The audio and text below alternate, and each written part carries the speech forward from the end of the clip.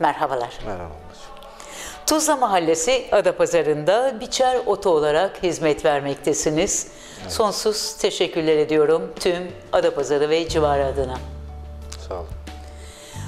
Koşmaca aslında çocuk denecek yaşta başladı. Bu işe gönül verenlerdensin. Ama buradaki başarı öyküsünü tabii ben sahibinden dinlemek isterim. Anlatalım mı değerli izleyicilere? Anlatırım ablacığım. Biz 2015 yılında ben kendim olarak Fatih Meslek Endüstri Meslek Lisesi'nde okudum. Hem aynı zamanda çalışma hayatıma başladım. Ee, 2021 yılında da Biçer Oto'yu açtık. Ee, 2020'de açtık. Şu an 2023'ün yani Mart Mart ayındayız. İki yıldır bir İki yıldır. koşmaca devam ediyor galiba. Aynen. Peki buradan aldığımız hizmetler neler?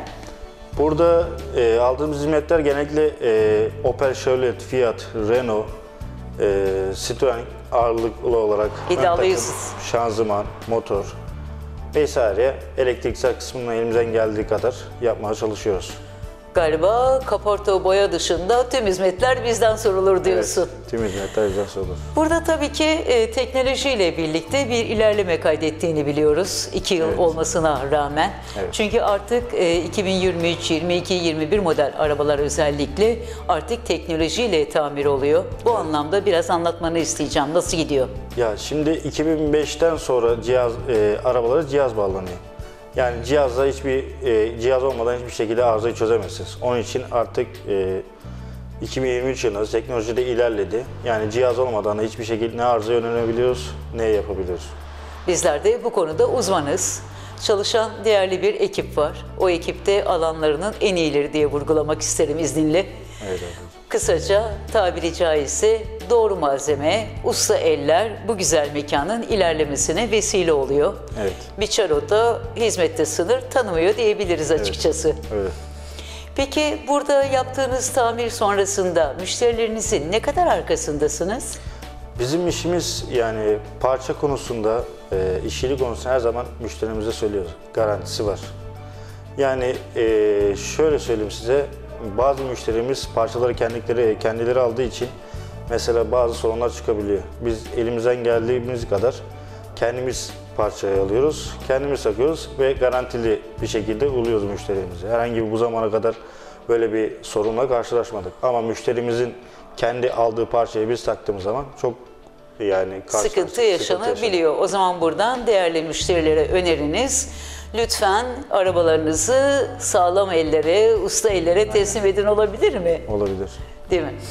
Burada gerçekten çok önemli bir konuya değindin. Yani alanın uzmanı olarak en doğru parçayı sizler bilip ve bunun garantisiyle birlikte sunumunu gerçekleştiriyorsunuz. Evet abi. Mutsuz müşteriler buradan anladığım kadarıyla mutlu gülümsemelerle ayrılıyorlar. Evet. Bu bir ekip işi. Öncelikli olarak Musa Biçer olarak size teşekkür etmek isterim. En kaliteli hizmeti bizlerle buluşturma çabanız için. Sonrasında aşağıda çalışan kardeşlerimiz var. O görünmeyen kahramanlara da buradan diyoruz ki emeklerinize, yüreklerinize sağlık olsun. Peki bu hizmeti sabah kaçtan, akşam kaça kadar alıyoruz sizden? Sabah saat 9, akşam 7. Bazen mesai kalıyoruz 8, 9, 10 civarına kadar en geç. İşlerin yoğunluğuna göre değişkenlik gösteriyor galiba. Evet. Ama hizmette sınır tanımadığımız bir gerçek. Biz şu anda Tuzla Mahallesi Adapazarı'ndayız. Sadece buradaki civardaki arabalar mı yararlanıyor bu hizmetten? Yani bu civardaki arabalar yok. Yani il dışından gelen çok arabalarım var. Mesela eee, şöyle söyleyeyim size, çoğu şirketten de gelen devamlı araçlarım var. Jandarmadan bile gelen, yani karakoldan bile, polis karakolundan gelen bile müşterilerim var.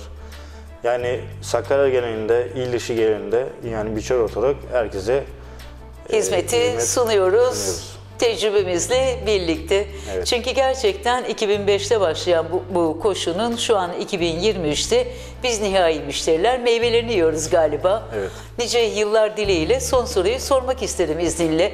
Hedefler neler ileriye yönelik?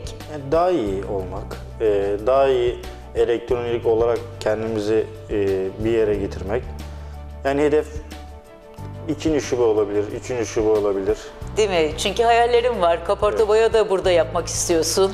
Tabii yani, Gelen konuk boş gitmesin istiyorsun. tabii yani sadece burada olmaz yani diğer dükkanlarda bir çerot olarak seneye bir Biçer Oto ikinci dükkan açmayı düşünüyorum açıkçası. Süpersin. Biz de bu ideallerinin, dileklerinin en kısa sürede var olan hizmetinle, kalitenle, gülen yüzünle birlikte bizlerle olmasını diliyoruz. Sağlıcakla kal.